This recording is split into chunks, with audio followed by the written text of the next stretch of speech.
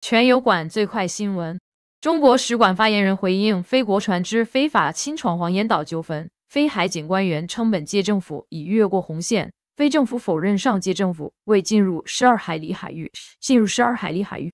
事件引发舆论关注，两国关系或将因此受到影响，值得密切关注。订阅新闻极速的最先知晓天下事。